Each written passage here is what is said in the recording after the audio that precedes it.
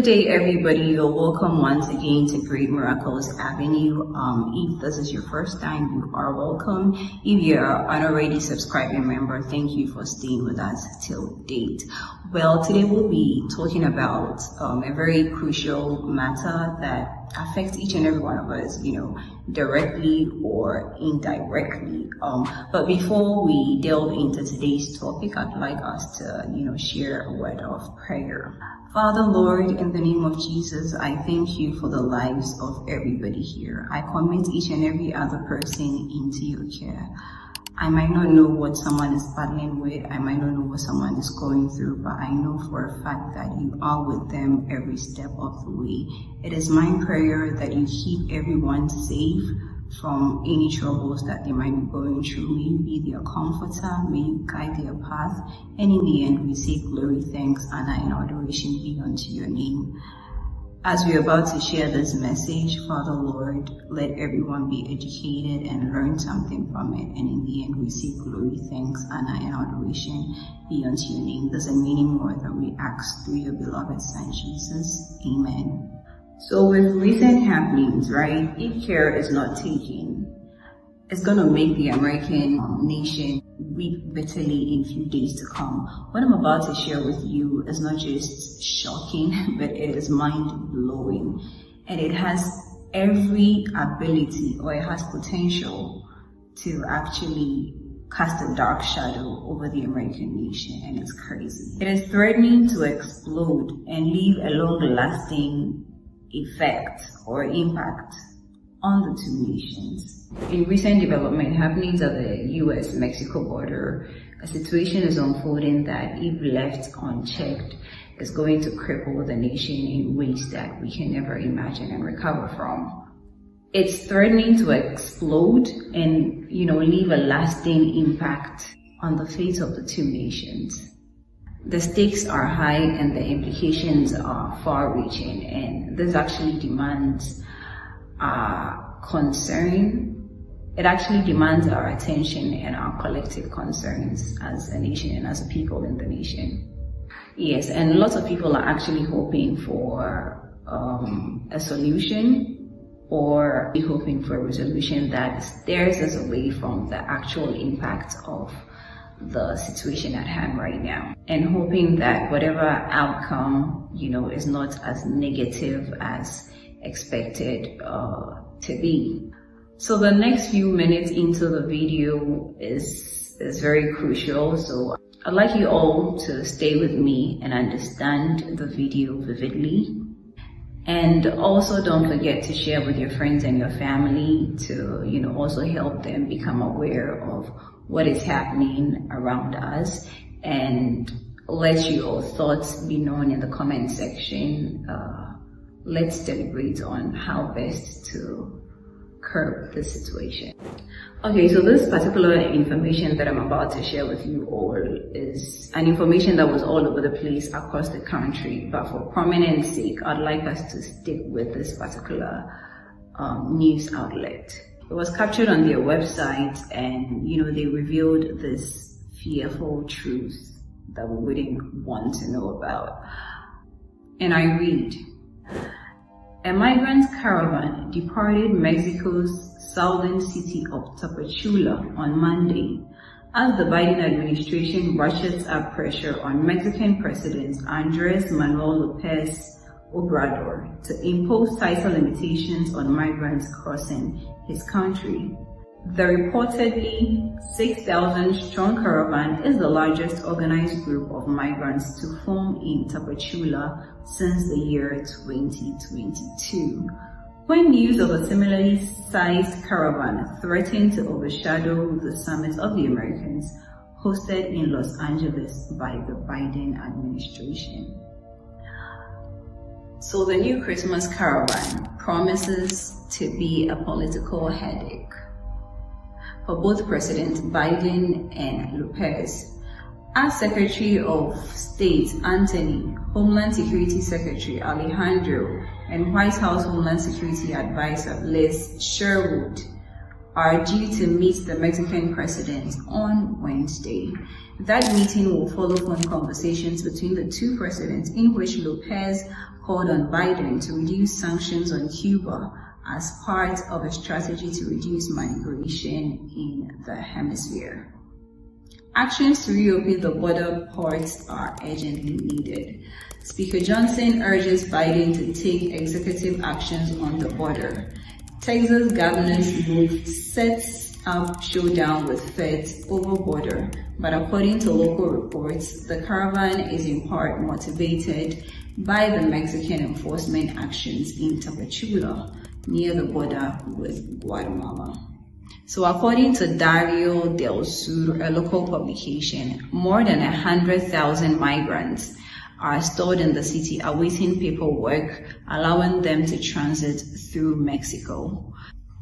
So in the past, Mexico's strategy of slow walking papers has led to unrest among migrants eager to leave the country's poorest regions that unrest can contribute to the organizations of caravans in which migrants travel together both for protection against um, organized crimes and against extortion demands from corrupt Mexican politicians or officials. According to reports, the caravan's leaders are carrying banners calling the movement an exodus from poverty and is mainly composed of people from Cuba, Haiti, and Honduras.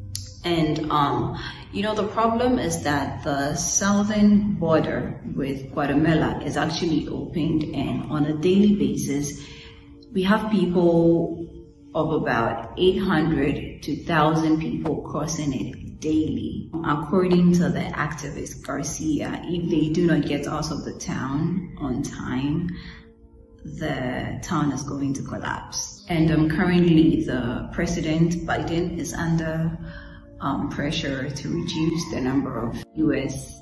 Mexico apprehensions. And you know, it's actually crazy and it's really getting out of hand because the figure keeps increasing day in, day out. On the southwest alone, um, figures of about 200,000 has also been recorded. And all these figures are just in a period of 24 months.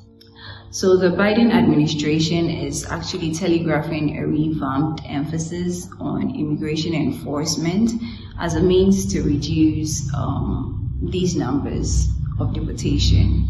And another alarming thing that we should be very concerned about when it comes to, you know, immigrants population increasing is the fact that there's going to be a lot of pressure on our social welfare, our housing, our, our welfare programs, and it's not just going to be affecting, you know, those coming in, it's going to be affecting we in the system already too.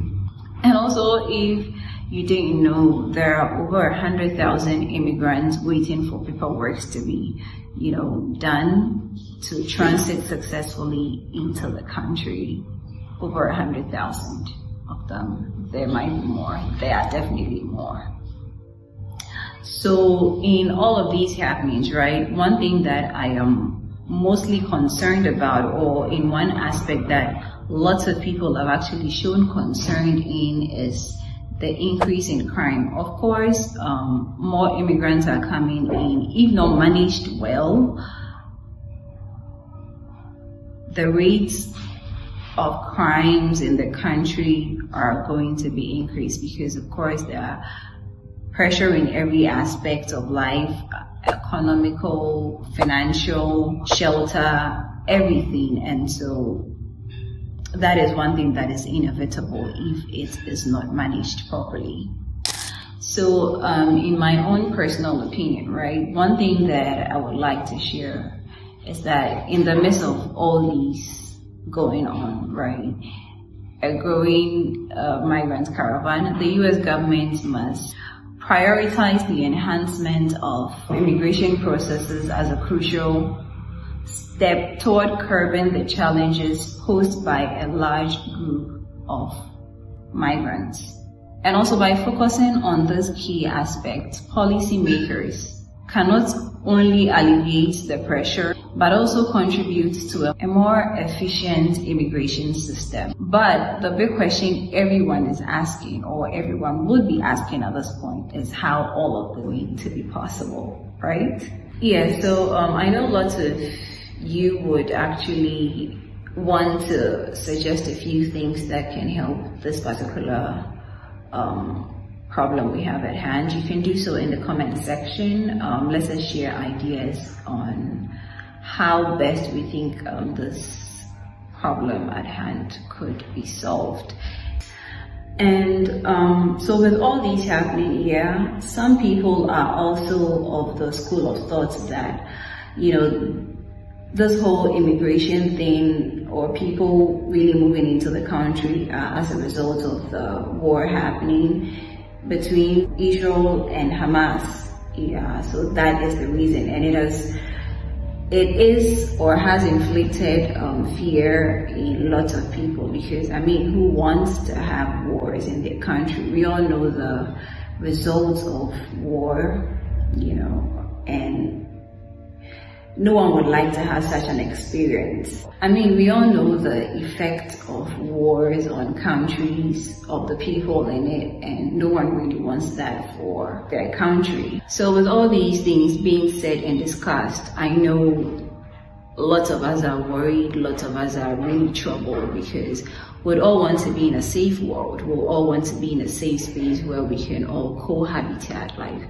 peacefully, but this is the case where um, wars are happening and because of that we're facing the effects and they're not looking too good for anyone be it citizen be it immigrants be it whoever it is we're all not having it easy. So this is where your faith your teachings your values as a christian and as someone who has studied the scriptures over the years comes in because Yes, so all of these things are in the Bible that during the end times we're going to see countries rise against countries, people rise against each other. The, the world as a whole is not going to be that perfect place for all of us to be in. And, uh, you know, there are actually several scriptures that I could leave you with, but this particular one really resonated with me when I was going through um, whatever we discussed today. You know, that was when David was in the wilderness and was seeking refuge. Um, if you have the time, you could just read the whole of Psalm 91. You know, it's very impactful. So the verse 1 goes, um, He who dwells in the secret place of the Most High shall abide under the shadow of the Almighty. So it doesn't really matter what is going on around the world. If you have God, you believe in God, follow His teachings and everything, lots of things could be going on around the world, but because you believe in Him, you know that there, are, there is a better place for you to be if you believe in Him, you know that all these things are just meant to happen so that He is glorified in the end. All these things are happening so that we know that yes, indeed, He is God and He's going to give us shelter and comfort. So if you have the time, you know, just go over the whole of Psalm 91. So lastly, before I sign out, um, there are several scriptures that I'd like you all to read during your quiet times, you know, reflect on it. And if there's anything at all that you do not understand, um, you let us know in the comment section and we would be glad to assist you, um, through, you know, this journey. And, um, if you stayed with us up until now, a very big thank you going out to you. Don't forget to like, subscribe, and share with your friends and family so that they can also be blessed with the word of God. And um, until next time, we'll come your way with nothing but the best of informative and educative peace. Do stay blessed. Bye.